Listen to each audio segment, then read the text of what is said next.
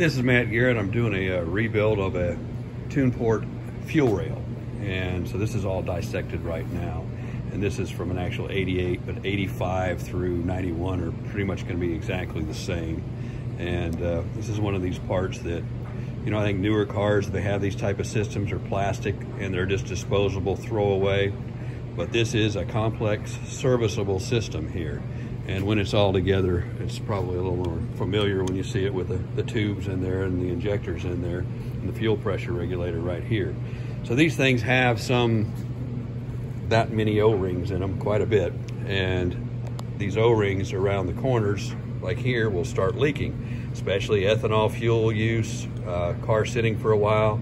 If you went and did a motor project on your Tuneport car or you have just let it sit a long time, well, you may find these things start spraying fuel from here. And uh, of course mine uh, was taken apart for a while. This one didn't leak that I know of before, for sure, but it may leak now since it's been taken apart now, so I just wanted to be safe and do it.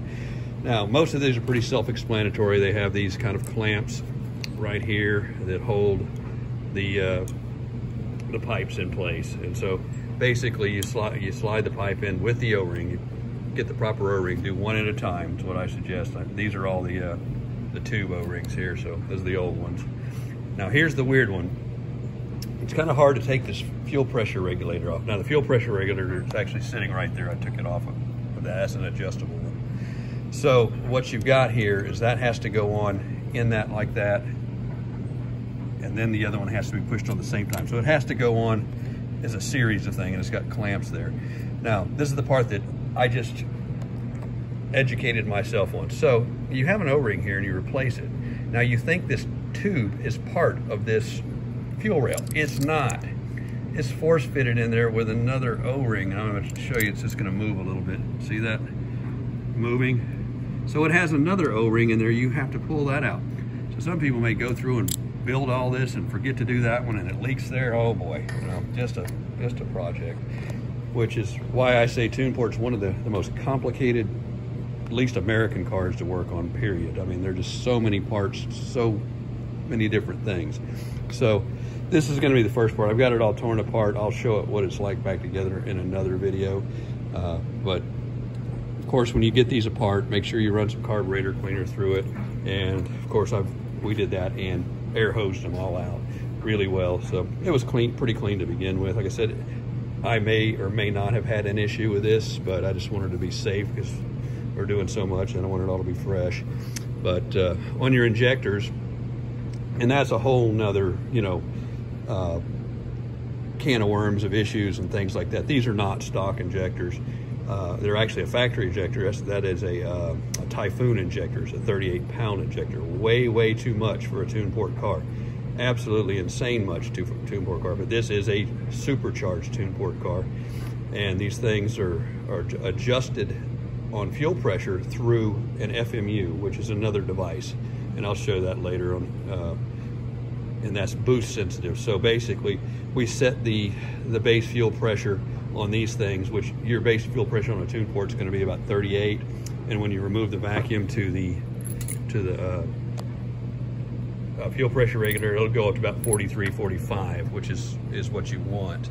So usually 38 to 45, somewhere in that range, if your system's working well. This one ends up going from about, we lower it down to about 32 to underutilize the ejectors when the car's low and then under boost it goes up into the 50s so it makes it spray a lot harder. But that's a hot rod application on a stock application.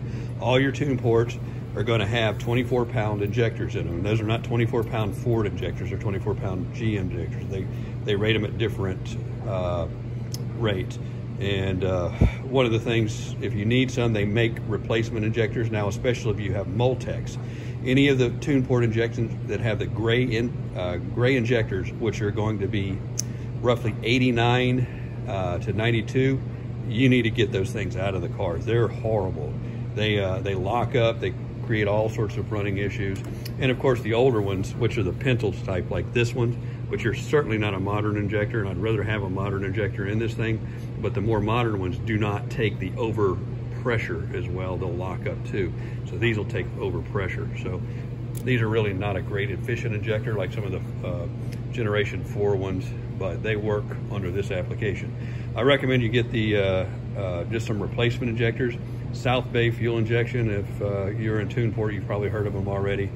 Get yourself some there. Don't try and over inject the car because you'll have problems, especially, you know, unless you've really built a, I mean, a massive motor, then you can start doing things like this with FMUs and different fuel pressure. But on a stock application, even up to like 300, 320 horsepower, just go with the 24 pound injectors and adjustable fuel pressure regulator, you're good.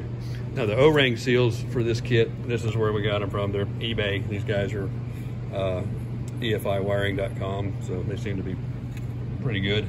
Haven't put them on yet, but the next video they will be on there. And if I have a problem with them, I'll let you know, but I don't think so. They look pretty self-explanatory and same type of stuff that came out of the car. Uh, I'm sure you can go and source all of these, you know, at a, at a, hardware store if you wanted to, but these guys put them all together for you in a package. So it makes it a lot easier.